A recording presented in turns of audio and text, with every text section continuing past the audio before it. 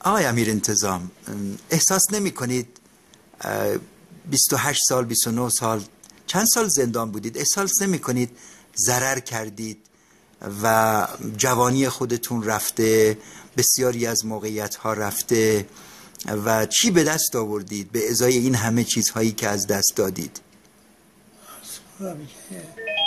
چیزی ضرر نکردم جزی کسی اون را در زندان صرف دفاع از حقیقت کردم و هرگز ضرر نکردم بلکه باید وظیفه بود که از حقیقت دفاع دفاع کردم و در تاریخ ایران باقی خواهد حالا کسی قدش کسی قدش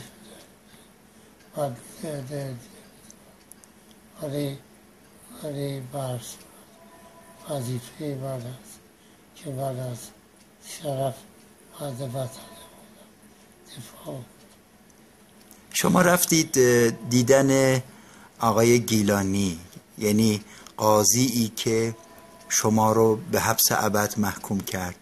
و او رو بخشیدید. یعنی وقتی ایشون در بیمارستان بود رفتید بالا سرش و او رو بخشیدید. می‌خوام ببینم در درون آقای امیر انتظام چه میگذشت که تصمیم گرفت بره از کسی ایادت کنه که او بخش وسیعی از عمر او رو به صلاح تلف کرده؟ والا من احساس کردم بیماری است و من وظیفه برم از ایشون عیادت کنم. رفتم عیادت کردم. و احوالشون البته ایشون در حال کام و توانستم از ایشون عیادت شما ایشون رو بخشیدین؟ بله. بله. هیچ کینه ای از ایشون ندارید؟ نه.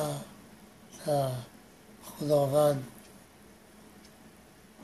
اگر که قراره جزای کسی رو بده اوست که تواناست در تصمیم گرفته. من نه. من توانایی ندارم. من یه بلی خدا هستم. و من جزء انجمن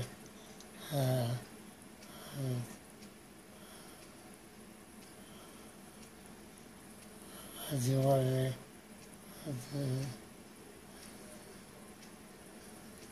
حقوق بشر. ایران هستم و بایستی که وظیفه من بخشیدن دیگران و معلم بودن از این افراد که کارهای خلاف کردن که با اونها رو و این سلسله بخشیدن در دار ایران با بتوانی متداول. امیدواریم که یه روزی حالت جمع دست انشاءالله انشاءالله. صمیمانه از شما تشکر می‌کنم. برای شما آرزوی سلامتی دارم. شما غرور ما هستید.